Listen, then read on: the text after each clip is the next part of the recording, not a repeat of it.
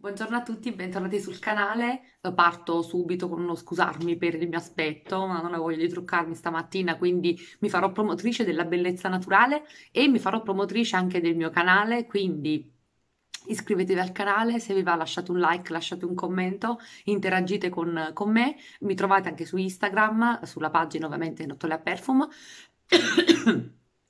Grazie tosse. Dopodiché ehm, anche voi timidini che guardate i miei video senza, iscriver- senza iscrivervi al canale, iscrivetevi al canale. Bene. Mm. Dopo la dose giusta di impappinamento e di introduzione, partiamo con l'azienda di oggi che è Officina Profumo Santa Maria Novella. Quindi torniamo nella città di Firenze e il mio grandissimo amore della città di Firenze e della Toscana. Uh, sono molto legata a questo set perché si tratta di un regalo fatto, uh, ricevuto dalla mia amica Federica, ciao Fede, e, um, che infatti contiene non soltanto il Discovery Set, ma anche una, un saponcino, insomma, tutto il regalo che lei mi ha inviato per il mio compleanno, quindi risale a qualche mese fa. Questo è il bigliettino personalizzato, quindi se volete usarlo come dia regalo, questo può essere un buono spunto. Poi c'è questo fantastico sapone alla mandorla che ha un odore meraviglioso che vorrò usare e che devo usare prima o poi, ma al momento non ho ancora il coraggio di farlo, quindi sta nella scatola. E poi veniamo al Discovery Set vero e proprio il Discovery Set che contiene 8 acque di colonia della, uh, appunto di questa azienda.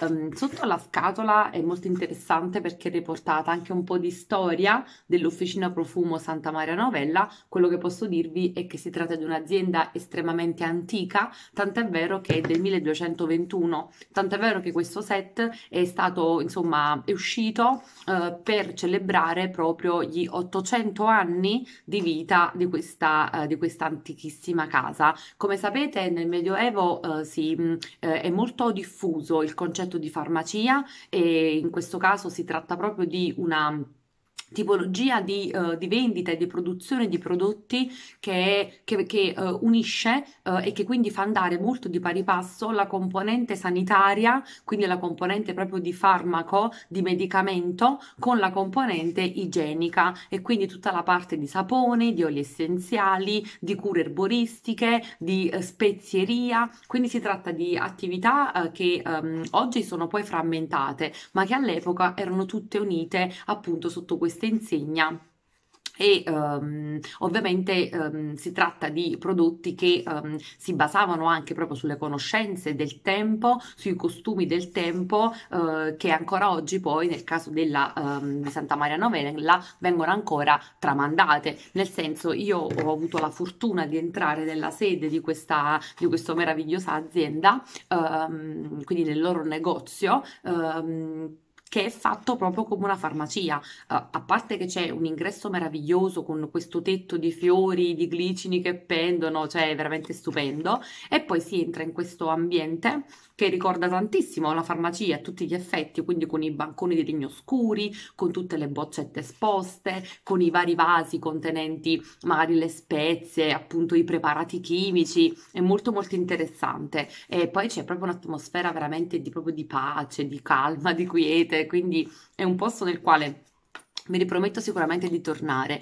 E perché parlo delle mode del tempo? Perché io sono entrata per comprare un, un, cosmetico a mia sorella che si chiamava polvere per bianchire le carni. La polvere per bianchire le carni sarebbe praticamente una sorta di polvere bianca um, che serve a fare una sorta di scrub e quindi a non soltanto a pulire la pelle, ma anche in qualche modo a uh, sbiancarla, che era tra l'altro proprio una moda tipica dell'estetica medievale che, era, uh, che non elogiava per niente la pelle abbronzata, perché la pelle abbronzata ovviamente era di coloro che lavoravano nei campi, che stavano all'aria aperta, quindi della, uh, della parte proprio della classe contadina, dei servi della gleba e tutto il resto, mentre la pelle uh, bianca era la pelle degli aristocratici, di coloro che si proteggevano dal sole e infatti appunto questo preparato serviva proprio ulteriormente a sbianchire le carni e ancora oggi si chiama così. Quindi è tutto molto interessante questo collegamento tra il passato e il presente eh, perché fa proprio luce anche proprio sui costumi dell'epoca,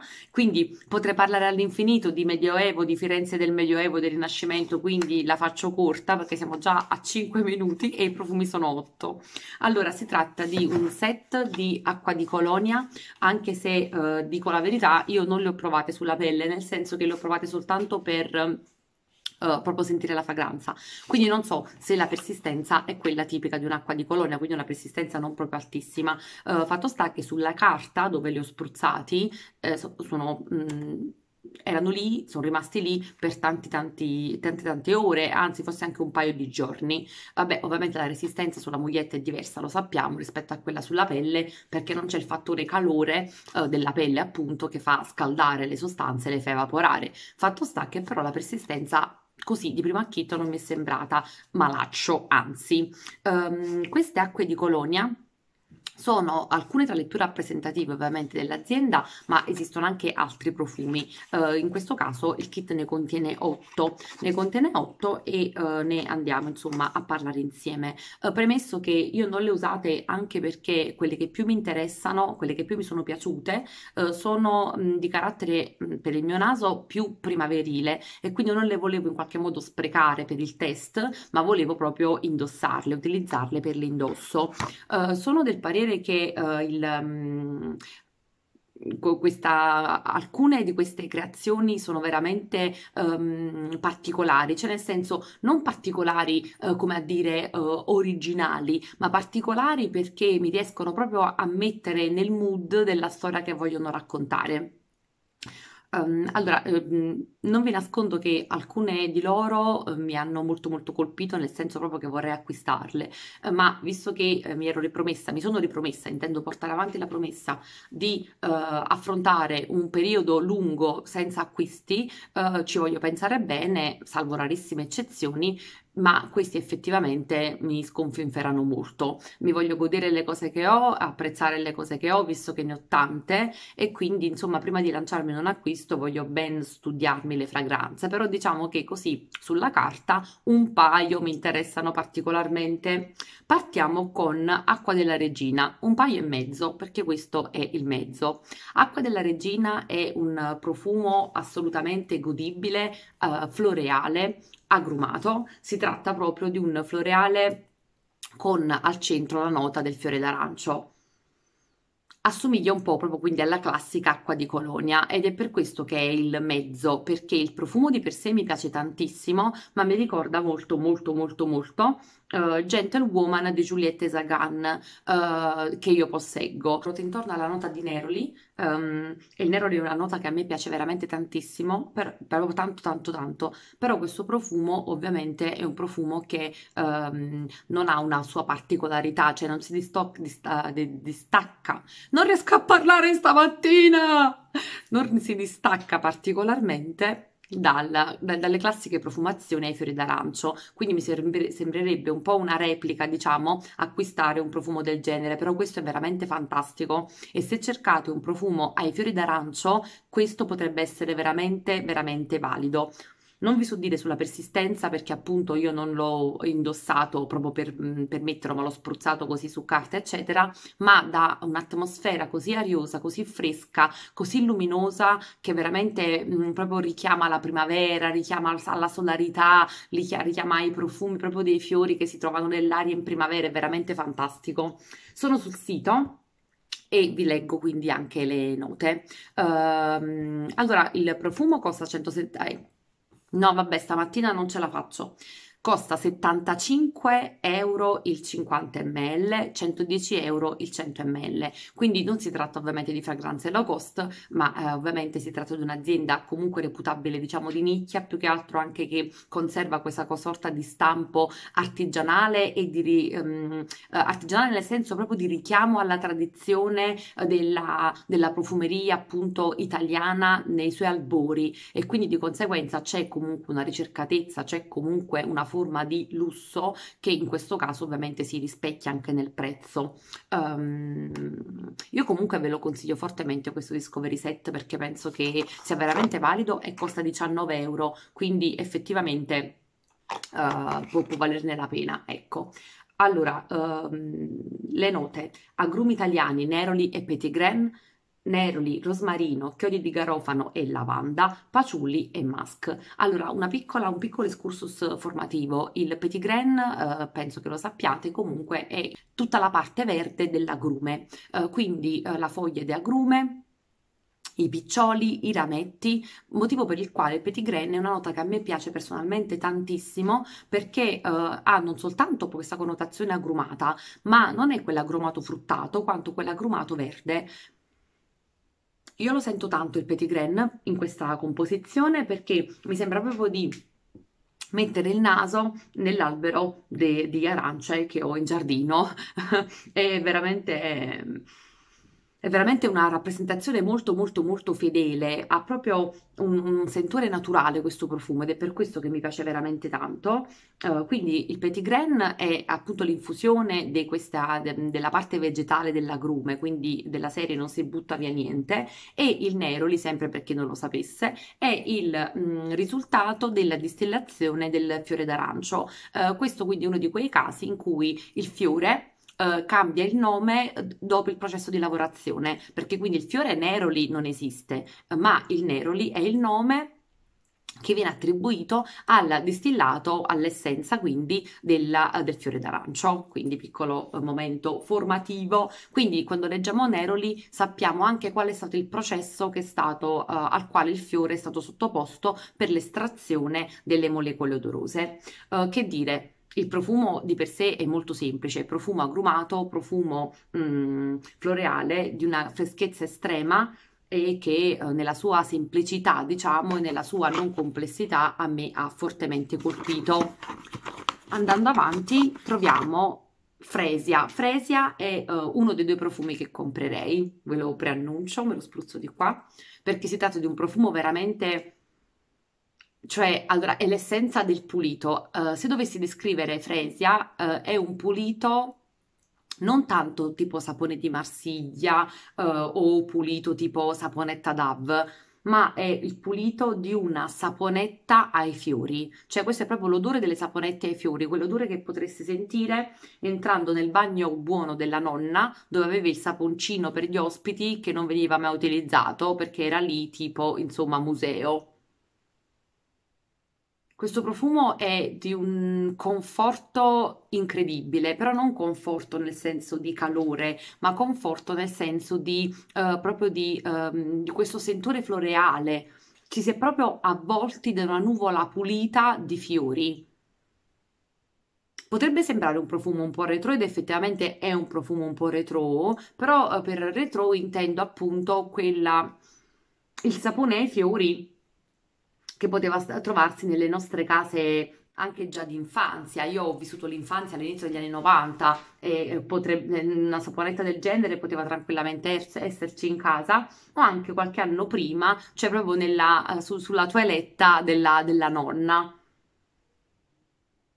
È un profumo veramente, non, non, non oso dire particolare, però eh, su di me ha suscitato una reazione di immediato interesse perché dà veramente un settore molto molto di pulito e anche di grande eleganza, cioè questo è un profumo che indosserei per esempio anche ad un colloquio di lavoro. Mm, la particolarità di questo profumo è che parte con questo sentore di pulizia da saponetta, però poi evolve verso un qualcosa di un po' più freddo, è come se successivamente emergesse una nota di pulito ma fredda, cioè leggermente glaciale, però sul fondo. È una cosa abbastanza strana la sensazione che mi suscita. Vi leggo le note, in testa c'è l'accordo fresia, nel cuore violetta assoluta di rosa centifolia e uh, sul fondo iris e musk. Probabilmente il muschio a dare questa, um, questa nota di, um, uh, di, di, di, pulito che un po' diventa anche un pochino uh, algido, cioè un pulito anche in qualche modo un po' sintetico e poi si sente anche la parte di iris, ma perché si sente una nota comunque talcata. Uh, però non mi sento di definirlo un profumo talcato. Per me Uh, è proprio um, lo sento e sento anche nel cervello la consistenza della saponetta, quella saponette color rosa che erano tutte scanalate. Uh, non so se avete presente, ecco, io vedo questa immagine.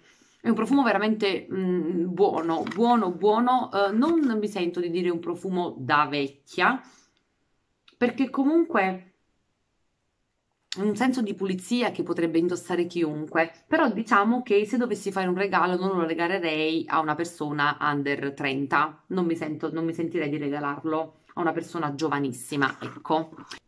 Andiamo poi su Rosa Gardenia.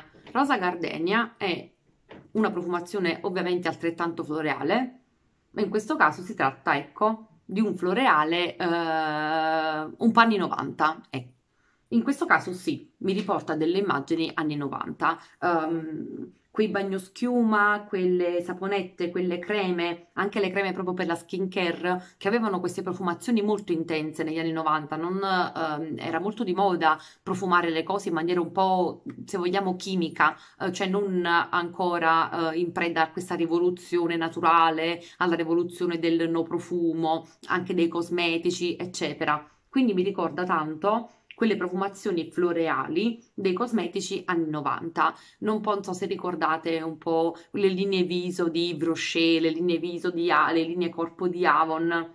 Avevano un po' questa connotazione floreale ma bella, carica, ai limiti quasi un po' del chimico. Questa è una profumazione che sinceramente non comprerei e che a differenza di Fresia um, sembra un po' più datata e quindi di conseguenza non la, non la, riesco ad associare molto ai nostri anni, al nostro modo di, diciamo, di profumarci, nel senso dei bouquet che sono uh, molto diffusi oggi. Sì, è una declinazione della rosa uh, cosmetica, sicuramente una rosa cosmetica, ma anche appunto un pochino più mh, inserita in un contesto temporale non di modernità. Uh, in testa trovavamo bergamotto, fior di mandorlo e fior d'arancio, in cuore gardenia, rosa centifolia, foglia di figo e gelsomino, fondo sandalo, vaniglia e musk. Io sento molto la rosa, una rosa che appunto è in qualche modo addolcita, una rosa i cui petali sono sicuramente molto maturi, una rosa di colore rosa, ecco,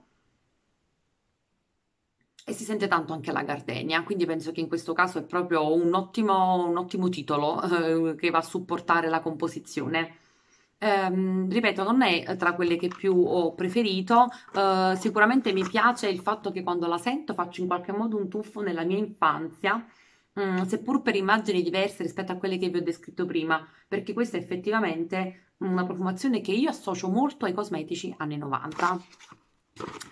Il quarto profumo del kit è Rosa Novella. Ecco, Rosa Novella eh, in questo caso invece è una rosa molto più moderna, una rosa molto più contemporanea, perché è una rosa che viene contornata da delle note tipiche delle composizioni attuali. Innanzitutto è una rosa in cui io sento moltissimo una parte, diciamo, mh, mm, di spezia, una parte legnosa uh, e uh, sento moltissimo quella spezia uh, tipo pepe, pepe nero, che in questo caso è contenuto in un barattolo di legno. Questa immagine spesso ricorre nelle mie descrizioni perché mi sono resa conto che è un mio modo specifico di percepire il paciuli.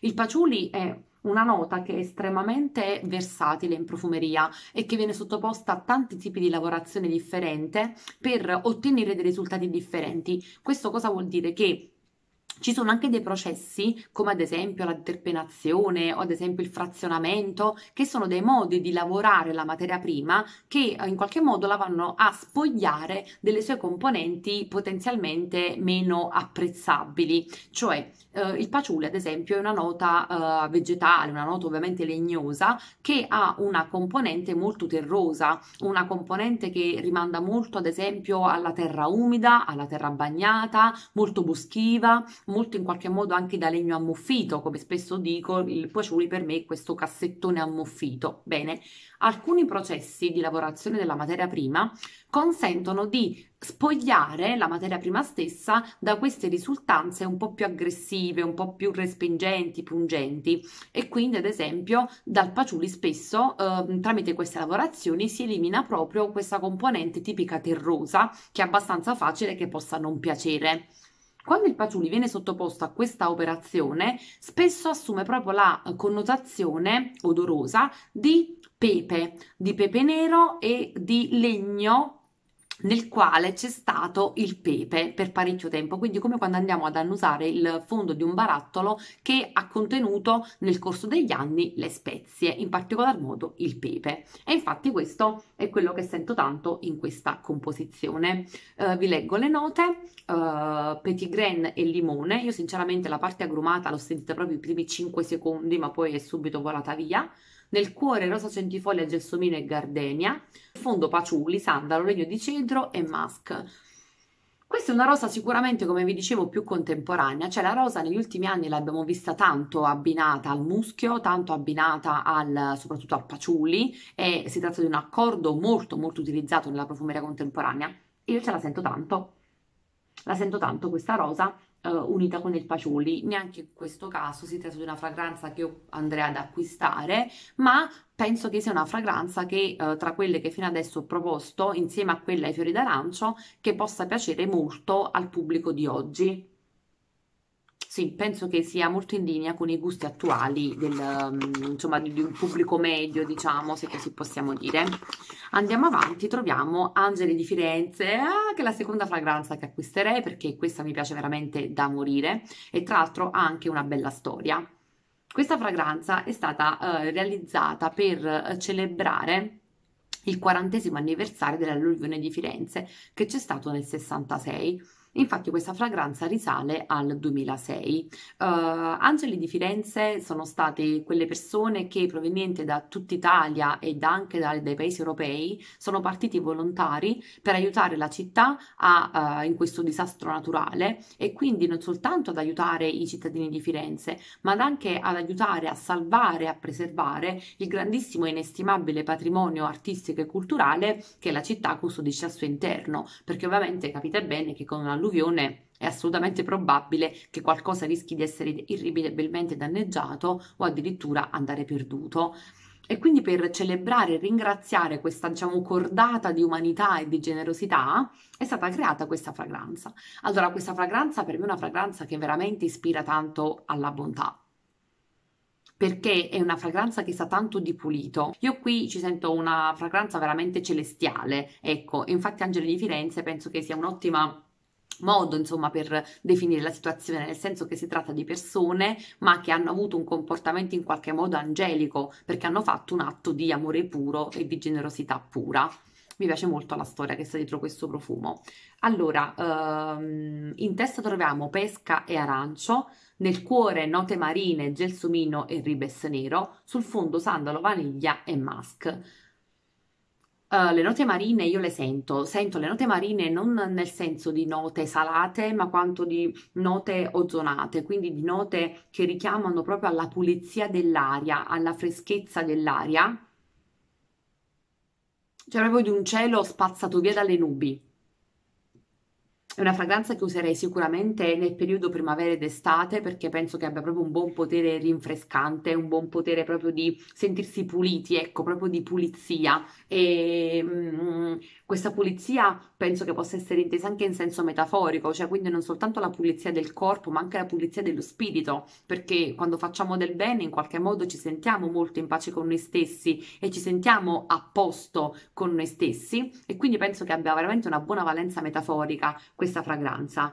Um, non sento particolarmente le altre note nel senso di Penso che queste note siano perfettamente unite e coniugate tra di loro, eh, ma non me ne emerge una in particolare sulle altre. Si sente sicuramente la parte floreale eh, e si sente eh, anche una parte dolce che è dettata dalla vaniglia e la morbidezza del legno di sandalo. Poi c'è da dire una cosa che um, è anche bello, almeno io apprezzo molto i profumi nei quali non necessariamente si riescano a distinguere tutte le note, nel senso che um, mi piace questa atmosfera che si ricrea perché è come se ci fosse questo vento che porta con sé tutti i sentori, diciamo, diciamo della primavera e quindi proprio porta con sé l'odore dei fiori, ma un odore indistinto di fiori, di nettare, eh, di, di, pulito, magari perché attraversa anche eh, qualche um, indumento steso ad asciugare e quindi si crea una sorta di atmosfera generale più che richiamare esattamente a questa o a quell'altra fragranza, nel senso proprio di singola nota.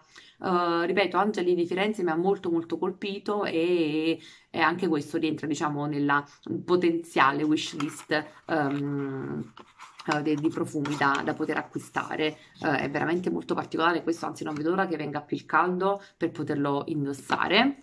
Mancano tre fragranze, tenete duro, andiamo su Melograno. Ecco, su Melograno smorziamo un po' gli entusiasmi perché mi ha un pochino deluso. Melograno è una fragranza che dal nome io mi aspettavo fatta completamente in un altro modo, perché me l'aspettavo con una nota più acidula, più fruttata proprio nel senso del chicco del melograno e soprattutto con questa sorta di componente un po' più croccante. Il chicco del melograno, come sapete, viene messo anche ad esempio nelle insalate, viene messo nello yogurt e spesso viene proprio eh, inserito come quella nota di croccantezza e diciamo di acidità che può conferire anche a un piatto e visto che gusto e olfatto sono due sensi estremamente connessi il paragone alimentare mi viene molto molto semplice uh, in questo caso no. Cioè non c'è nessuna parte acidula non c'è nessuna parte croccante anzi il profumo è un talcato bello polveroso e sinceramente riesce a darmi una sensazione quasi un po' sgradevole alla gola perché quando l'annuso mi si attacca proprio un po' qua, cioè sento proprio come se la polvere mi scendesse un po' in gola non avrei mai associato un melograno a questa resa olfattiva, sinceramente, quindi per questo mi ha molto spiazzato, quindi non soltanto mi ha spiazzato nelle aspettative, ma mi ha anche un po' deluso perché poi concretamente annusandolo non è che mi piaccia particolarmente. È molto polveroso, cioè veramente non è tanto talco, è proprio polvere, ha non so che di antico. Ecco, ho parlato prima dei due profumi di Fresia e di um, Rosa Gardenia come due profumi che magari rimandavano ad una dimensione un po' più vecchia del modo di potersi in qualche modo profumare. Questo ha una dimensione proprio antica, cioè vecchia nel senso quasi un po' più spregiativo, mi permetto del termine. Quel retro proprio mm, un po' stantiglio. Mm, no, mi ha, mi ha veramente un po'... Turbato, eh, sinceramente, non, non, non, non, mi sono trovata in linea con, con questa profumazione. Uh, viene definita addirittura un floreale speziato. Io delle spezie non ci sento assolutamente un H, sento soltanto questi fiori vecchi, uh, fiori proprio non vecchi nel senso di marci, ma fiori proprio uh, secondo un gusto vecchio, antico, trapassato e tanta tanta polvere, proprio come se avessimo veramente esagerato tanto con il talco e l'abbiamo respirato e adesso si è fermato un po' in gola. In testa bergamotto, aranciamaro, spezie fresche, cuore melograno, rose lang ylang, fondo muschio di quercia, labdano, paciuli e musk. La lettura della piramide in questo caso è stata assolutamente irrilevante perché io non noto nessun, cioè non riesco a descrivere una forma di congruenza tra quello che ho letto e quello che sento, perché sento esattamente quello che vi ho detto, quindi non riuscirei neanche ad integrarlo in maniera differente. Non lo so, sono rimasta un po', un po spiazzata, eh, anche un po' delusa. Tabacco toscano. Tabacco toscano è la classica fragranza che non mi piace, ma per essere la fragranza che non mi piace posso dire che mi piace e quindi grazie, faccio pace con il cervello, nel senso... Allora, è la fragranza tipica, come vi ho descritto anche nel set della eh, Santissima Annunziata, eh, quella fragranza tipica da Uh, scaffale di legno pesantissimo, scurissimo, uh, stanza un po' buia con il divano di pelle, il mobiletto dei liquori, uh, il tabacco, il sigaro appoggiato sul, sul posacenere, proprio il classico studio dei liquori della casa del professionista, dell'intellettuale, del giudice, di queste figure un po' anche molto austere, ecco.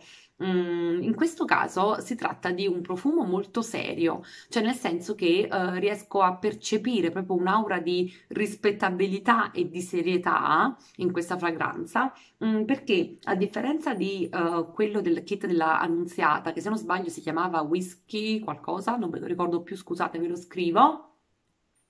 Uh, quello aveva una nota dolciastra quella nota dolciastra tipica del whisky, del rum, quindi c'è insomma del liquore maltato. Questa fragranza invece è una fragranza molto secca, è una fragranza molto secca che ehm, richiama esattamente nell'ordine tutte le cose che vi ho detto, perché ci sento quella parte di tabacco sicuramente, la parte del cuoio del divano, la parte del, uh, del legno dello, della, dello scaffale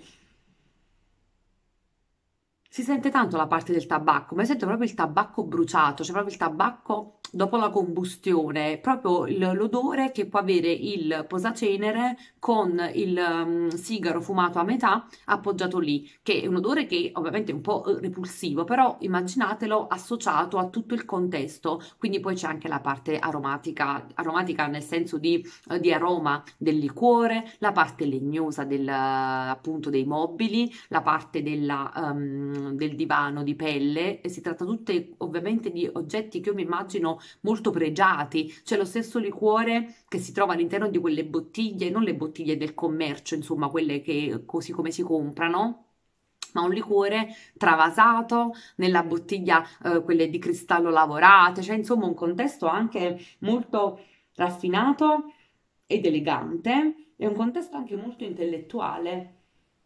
E questo è un profumo che veramente non rientra nella mia estetica, però uh, mi piace, mi piace, lo trovo anche veramente molto serio, molto rigoroso, in qualche modo anche molto sexy, cioè molto sensuale, però di quella sensualità non sfacciata, ma quella sensualità uh, che diciamo um, uh, viene innescata con il cervello, con la cultura, um, con il sapere, con il comportamento serio e che quindi in qualche modo fa scattare anche questa forma di ammirazione, ecco, nei confronti della persona che la porta. Mi sto facendo un viaggio mentale incredibile, però sono tutte queste le immagini che il profumo mi evoca. Quindi tabacco toscano, Uh, eccoci qua, bergamotto, foglie di tabacco toscano, cuoio, ambra e betulla, legno di cedro, guaiaco, sandalo, masca e vaniglia. Questa, ecco, a differenza di quella di prima, è una piramide estremamente calzante. La betulla, in particolar modo, è una materia prima che ascoltata mi ha veramente, ascoltata, scusate, sentita, mi ha veramente turbato perché è uh, odore esattamente di legno bruciato, ma il legno veramente proprio dopo la combustione, come a prendervi il tizzone in mano e, metter, e mettervelo sotto il naso. Ecco, la betulla in questo caso serve proprio a dare questa uh, sfumatura di, uh, di, qualcosa di bruciato, quindi della combustione. Um, e quindi in questo caso ovviamente è perfetta perché uh, si parla della, del sigaro fumato, si tratta ovviamente anche di quell'effetto cuoio del divano e ovviamente della legnosità degli ambienti, quindi veramente questa è una, una piramide veramente in cui si riesce a capire il contenuto come viene presentato attraverso le parole e eh, quello che poi ci risulta concretamente al nostro naso. C'è un fondo in fondo vanigliato, quindi il profumo non eh, risulta mai dolciastro,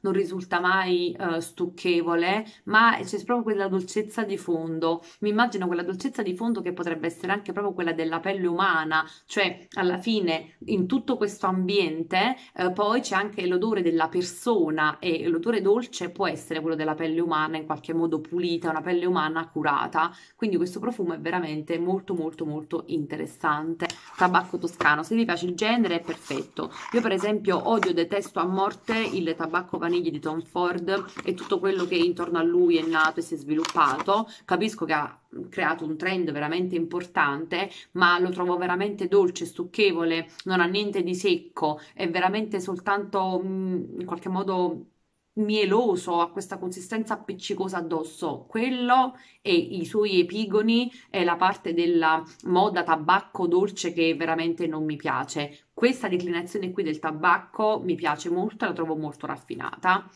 Siamo arrivati alla fine, stoici, siete andati avanti fino in fondo per scoprire l'ultima fragranza che è Pupurri. Pupurri, come dice il nome, è una fragranza che ho un po' di difficoltà a immaginare addosso una persona perché per me è una fragranza veramente d'ambiente perché come dice il nome è veramente eh, richiama tanto proprio al putpurri e sembra veramente di vedere quella boule di vetro con dentro le foglie secche, eh, i rametti ehm, tipici proprio no, della, dei, dei putpurri che si trovano sulle tavole per profumare gli ambienti. Questo è un profumo estremamente aromatico in cui si sente tanto l'odore delle erbe aromatiche, eh, sento tantissimo un odore tipo alloro eh, e anche tipo un odore tipo timo, con gli odori tipo da cucina, no? Però non nel senso di alimentare, però di quelle uh, erbe aromatiche che si usano anche per cucinare.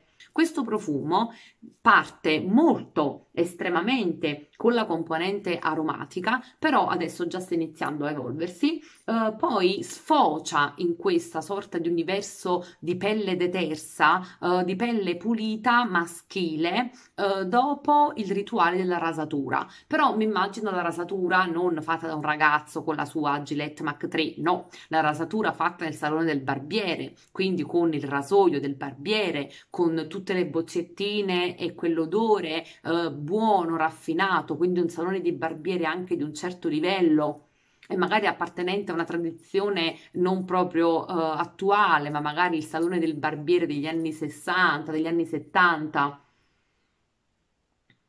questo è un profumo che poi diventa veramente tanto rassicurante, tanto maschio, nel senso più bello del termine. Uh, sappiamo che la classificazione di genere in profumeria ultimamente viene sempre più demonizzata, uh, però io sono del parere che esista. Esiste perché ci richiama delle immagini che sono legate comunque anche ad una suddivisione sessuale, perché uh, è chiaro, ognuno si può mettere quello che vuole, lo diciamo sempre, però non vorrei neanche essere uh, in maniera sterile troppo politically correct. Per me certe immagini sono dell'universo maschile e alcune immagini sono dell'universo femminile. Poi che io decida di impossessarmi di queste immagini maschili, questo è un altro discorso e nessuno me lo vieta però è innegabile che ci sia un'immagine più da maschio o più da femmina. Tabacco toscano è secondo me un profumo comunque vuoi non vuoi che richiama ad un immaginario maschile, così come anche pupurri, perché sento proprio l'odore della pelle rasata, riesco a sentire la consistenza della pelle appena rasata di un uomo sul viso ed emerge questo odore veramente di estrema pulizia, questo odore tra un mix tra talco, l'odore del pennello che utilizza il barbiere, lozione eh, post rasatura. C'è proprio una specifica immagine di un universo tutto maschile, ovviamente, di un maschio raffinato, di un maschio adulto, estremamente rassicurante, estremamente proprio... Mm, familiare in qualche modo, anche se non è un'immagine della mia famiglia, però è un po' un'immagine di stereotipo, però di maschio eh, rassicurante con il suo gilet di, di filo di Scozia, la camicia, la giacca. Un po' da gentleman, un po' da lord inglese. È molto molto buono. Vi leggo le note. Non a caso comunque di questa fragranza fanno anche il, um, la, proprio la, la, profumazione per ambiente e non stento a crederlo sinceramente. Eh, anche con dei sacchetti di, mm, eh, di seta eh, che contengono appunto il putpurri, no? è meravigliosa. Eccoci qua.